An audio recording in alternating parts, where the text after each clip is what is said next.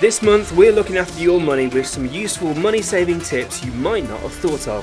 First, why not request free samples? Loads of companies offer them and you could grab yourself free tea, chocolate, cereal and even ice cream. Just look on company websites. If you want to freshen up your wardrobe without spending high street prices, you should try everything5pounds.com.